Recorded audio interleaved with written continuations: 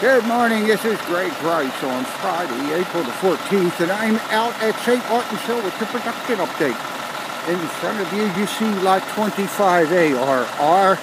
Um, carpenters just left the house. It is finished as far as the carpentry rough framing. Um, they've got the outside buttoned up. We're completely dried in. A little bit of shingles left on the front porch, which is in process. Um, we poured the uh, front slab for the uh, porch today and the steps and the and a sidewalk. So um, uh, Joe just left. He tells me that they're scheduled to do the uh, HVAC, the ductwork on Monday.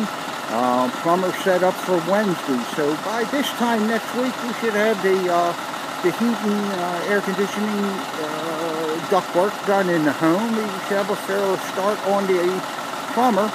And I would think um, getting close to an electrician in which we should be ready for a, a framing walkthrough. So things have progressed on nicely here this week, and uh, next week we've got uh, we've got some good weather coming ahead of us here. And um, now that the house is completely framed in, uh, things should start to progress without Mother Nature affecting us a whole lot. Um, down the other end of the street, you can see lot number nine.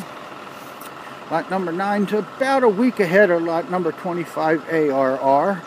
Um, the plumbers are in the house today doing the uh, roughing for the plumbing. I see the tub sitting outside here, getting ready to be set today. We've got the uh, heating and ventilation contractor in there tightening up a few things, and the plumber uh, finishing up hopefully today. Uh, we should be ready for a framing walkthrough in this house in the next week, and um, electrician starting before the end of next week. So uh, 20, uh, lot number nine's moved on here very nicely. Our model home um, uh, sitting out at lot number 15. The uh, HVAC work is in due day number two. They'll finish up today. Uh, and then we'll start the plumbing in this the first of the week. So uh, we've, we've got some good production going on out here. We've got some permits waiting for the county, which should be released in another week, and we'll get some more starts going on. So that's production update out here at uh, St. Martin's Hill on Friday, April the 14th.